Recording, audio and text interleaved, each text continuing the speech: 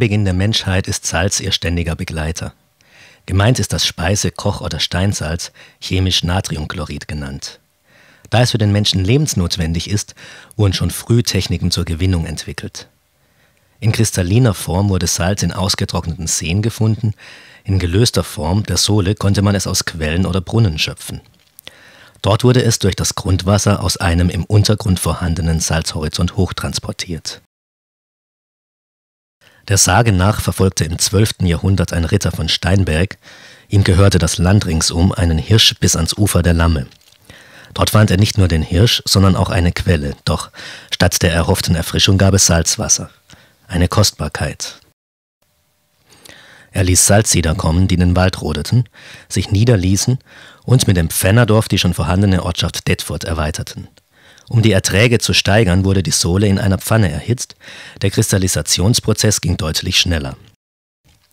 Wirtschaftlich unabhängig gründeten die Salzsieder im 13. Jahrhundert eine eigene Gilde, die Pfennergilde. Sie bauten das Salz nicht nur ab, sondern vertrieben es auch. Das Solz zur Detforde wurde ein Markenartikel. Bis heute schlägt sich das im Namen Salz Detford nieder. Die Jahrhunderte vergingen und die Landesherrschaft wechselte im 16. Jahrhundert vom Hildesheimer Bischof auf die Welfen und 1866 auf die Preußen über. Das Holz wurde knapp, die wirtschaftliche Lage schwieriger. Die Gradierwerke wurden erfunden. Hier das Gradierwerk von 1903. Unter Bedachungen stehen Weißdornhecken, durch die das salzhaltige Wasser herabrieselt. Dabei verdunstet das Wasser. Das schont den Wald und ist kostengünstiger. Heute wird noch von der salzhaltigen Luft profitiert. Als Teil der Kurbetriebe können Kurgäste mit Atemwegsbeschwerden Inhalationen vornehmen. Gegen Gelenkerkrankungen wird mit Bädern vorgegangen. Erst um 1850 entschloss man sich, durch den höheren Salzbedarf tiefere Bohrungen zu versuchen, um das Salz im Rohzustand zu fördern. Ein erster Schacht wurde auf der Suche nach Kochsalz in Stassfurt abgeteuft. In größerer Tiefe fand man eine Lagerstätte mit einer Vielfalt an Salzarten, jedoch waren sie bitter und als Speisesalz nicht verwendbar. Sie wurden über Tage auf Halde gekippt. Sie enthielten die Mineralien Kalium und Magnesium, die nach Justus von Liebig dem Boden durch das Pflanzenwachstum entzogen werden. Führt man sie künstlich dem Boden zu, kann das Pflanzenwachstum beschleunigt werden. Das Kalidüngesalz war entdeckt. Es begründete eine neue Industrie. In Salzdetfurt trat dieses historische Ereignis 1893 ein. Die Aktiengesellschaft für Tiefbohrung und Bergbau zu Goslar als Betreiber äußerte sich enthusiastisch über das in einer Tiefe von 630 Metern gefundene, 17 Meter dicke Sylvinlager. Und so wurde drei Jahre später an dieser Stelle der Schacht 1 abgeteuft. Doch wie kam das Salz in die Erde? Dazu ist es notwendig, etwa 230 Millionen Jahre zurück in die Erdgeschichte zu gehen. Während der zweiten Hälfte der 30 Millionen Jahre dauernden Permzeit, genannt Zechstein und noch lange vor den Dinosauriern, herrschte in dieser Gegend überwiegend ein wüstenähnliches Klima, lag doch Europa am Äquator als Teil des Urkontinents Pangäa. Diese Gegend war ein riesiges Binnenmeer. Durch sogenannte Bachen von der offenen See getrennt, wurde es nur sporadisch überflutet. Durch Verdunstung von Meerwasser erhöhte sich die Salzkonzentration, das Salz kristallisierte aus.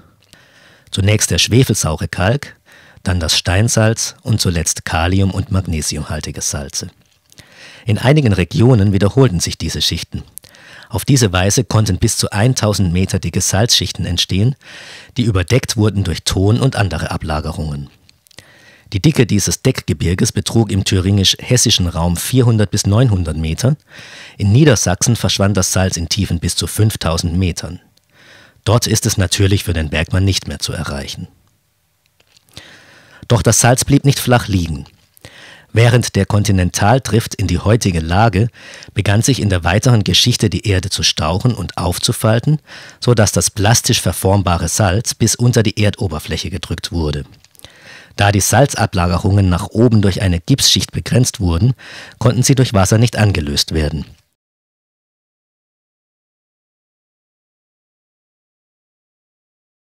Der Querschnitt durch den Salzdetfurter Salzstock zeigt die Gegebenheiten.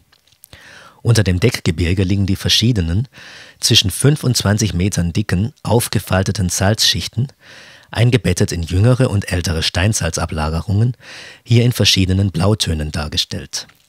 Das rot gefärbte sogenannte Stassfurtlager und das gelbe Ronnenberglager sind die abbauwürdigen Schichten. Oben schließt der Salzspiegel mit dem Gipshut den Salzstock gegen das Deckgebirge wasserundurchlässig ab. Die obere Abbaugrenze liegt bei 550 Metern, also mit viel Sicherheitsabstand zu den wasserführenden Schichten. Die unterste befindet sich in einer Tiefe von 950 Metern. Dazwischen befinden sich eine Reihe von Haupt- und Teilsohlen, die durch spiralförmig angelegte Wendeln miteinander verbunden sind. Die Verbindung nach oben bilden insgesamt drei Schächte, die jeweils unterschiedliche Hauptaufgaben hatten. Schacht 1, rechts am Waldrand, war der Hauptförderschacht. Hier wurde das geförderte Rohsalz nach oben transportiert und anschließend in der Fabrik zu diversen Verkaufsprodukten verarbeitet. Schacht 2, links am Waldrand, war hauptsächlich Wetterschacht. Ein Großventilator mit einer Leistung von 770 Kilowatt saugte über Tage pro Minute 20.000 Kubikmeter im Grubenbetrieb verbrauchte Luft nach oben. Die gleiche Menge an Frischluft kam so zwangsläufig in den anderen Schächten nach unten. Außerdem konnten hier Großmaschinen nach unten gebracht werden und die bei der Produktion entstehenden Rückstände wurden wieder unter Tage eingerieselt, um die entstandenen Hohlräume zu füllen. Schacht 3 war für die Seilfahrt eingerichtet. Man brachte die Belegschaft zum Arbeitsplatz und holte sie auch wieder ab. Neben Waschkauen gab es Büros und Versorgungseinrichtungen. Ersatzteile konnten nach unten transportiert werden und neben Dieselkraftstoff kam auch der Sprengstoff über diesen Weg unter Tage in zwei 35 Tonnen fassende Silos. Die Fortbewegung der Belegschaft erfolgt mit dieselangetriebenen Fahrzeugen, die natürlich auch mal betankt oder repariert werden müssen. Dies geschieht in der untertägigen Werkstatt, ein paar hundert Meter unter der Erdoberfläche. Vor der Hacke ist es duster, sagt der Bergmann. Und recht hat er. Um festzustellen, wo ergiebige Lagerstätten zu finden sind, wird mit der Kernbohrmaschine bis zu 1000 Meter in höffige, also hoffnungsvolle Richtung gebohrt. Der entnommene Kern wird von Geologen untersucht. Daraus ergibt sich ein geologisches Bild. Der Abbau wird in die entsprechende Richtung vorangetrieben. Dieses geschieht durch Bohrung und Sprengung. Das Bohrschema wird als Dia auf das Gestein projiziert und Markierungen für die Bohrungen angebracht. Die drei großen Bohrlöcher in der Mitte werden durch einen Spezialwagen gebohrt, vorgesehen als Ausweichöffnungen, da sich das Salz bei der Sprengung ausdehnt. Das dauert pro Loch ca. 20 Minuten. Für die darum angeordneten 19 Sprengstoffbohrlöcher gibt es einen weiteren Bohrwagen. Alle Löcher sind 7 Meter tief und liegen parallel nebeneinander. Auf diese Weise können pro Schicht etwa 600 Meter gebohrt werden. Der schwer entzündbare Sprengstoff Andex wird in die kleinen Löcher eingeblasen. Dazu ist das Sprengstofffahrzeug mit einem Behälter für 1500 Kilogramm ausgerüstet. Jedes Bohrloch wird mit einem elektrischen Zünder versehen, der zuerst einen anderen, etwas stärkeren Sprengstoff zündet, um in einer genau bestimmten Reihenfolge um die drei mittleren Bohrlöcher herum die eigentliche Sprengung vorzunehmen. Natürlich wurde der Sprengstoff auch unterirdisch aufbewahrt. Einmal pro Woche angeliefert, wurde er aufbereitet und durch Fallleitungen nach unten gelassen, um anschließend in die Sprengstofffahrzeuge gefüllt zu werden. Die in Bad Salzdetfurt verwandte Methode des Abbaus ist der Strossenbau. Der Abbau wird vorbereitet durch zwei etwa 10 bis 20 Meter übereinander liegende Hauptsohlen im Kaliflöz, die im Nebengestein durch eine wendelartige Fahrbahn miteinander verbunden sind. Diese Abbauscheibe kann nun durch Sprengung und Abfuhr gewonnen werden. Senkrecht gebohrte Löcher werden mit Andex gefüllt und nach Anbringen der Zünder erfolgt die Sprengung. In Bad Salzdetfurt wurde jeweils nur zu Schichtende mittags um halb zwei und abends diese Arbeit getan. Wenn also um halb zehn das Geschirr im Schrank klapperte, brauchte niemand auf die Uhr zu sehen. Nach der Nachtschicht um 5.30 Uhr erfolgte keine Sprengung, fühlten sich doch die Langschläfer durch das deutlich hörbare Detonationsgegrummel belästigt. Hat sich der Staub verzogen, liegt das lose Haufwerk auf der unteren Teilsohle und kann abtransportiert werden. Doch vorher muss erst die Decke, bergmännisch Firste genannt, befestigt werden. Durch spezielle Fahrzeuge werden lose Gesteinsbrocken hydraulisch abgeschlagen und durch eine Fräsmaschine weiter ausgeschliffen. Bei kritischen Deckenverhältnissen werden tiefe Löcher in die Decke gebohrt und Schwerlastanker mit einer Tragkraft bis zu 16 Tonnen eingeschraubt.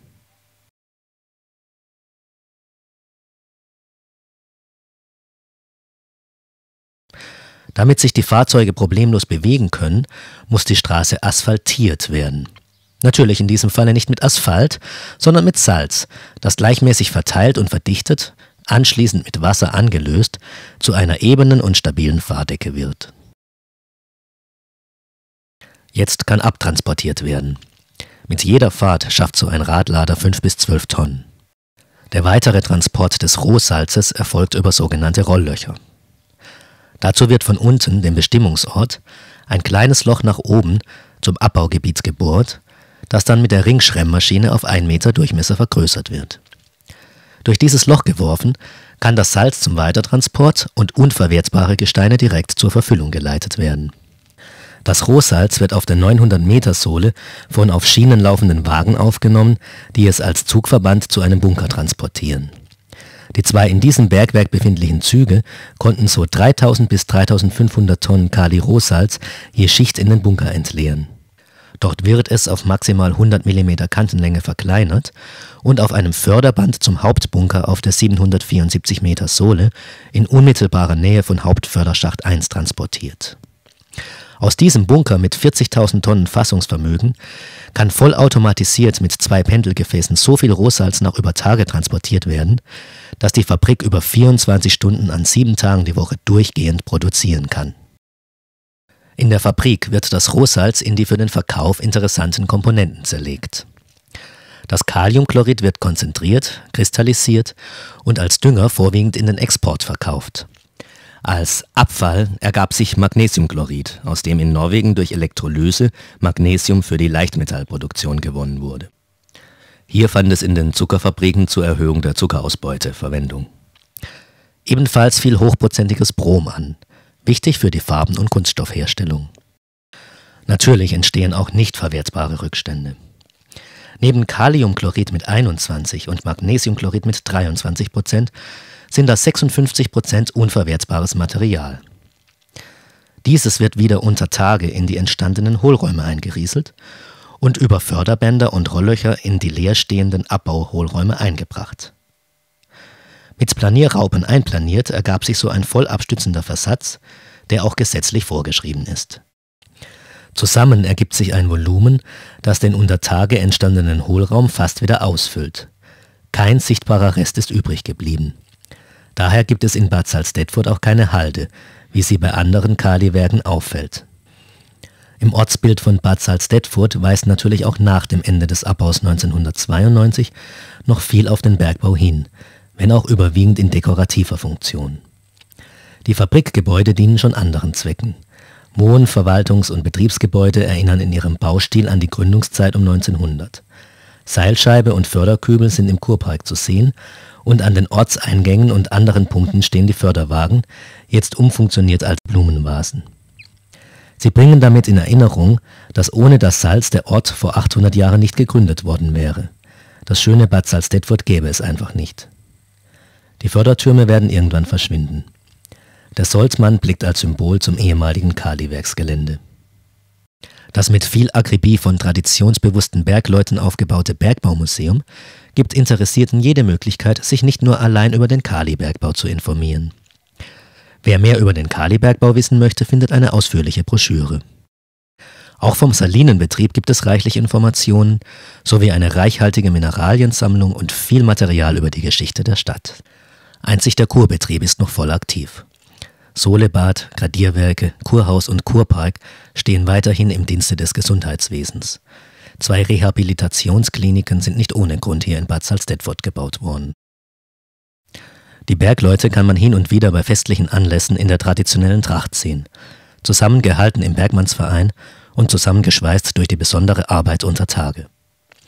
Was bleibt, ist die Erinnerung an diese Arbeit. In diesem Sinne wünschen wir viel Spaß im Museum und verabschieden uns mit dem uralten, aktuellen Gruß Glück auf!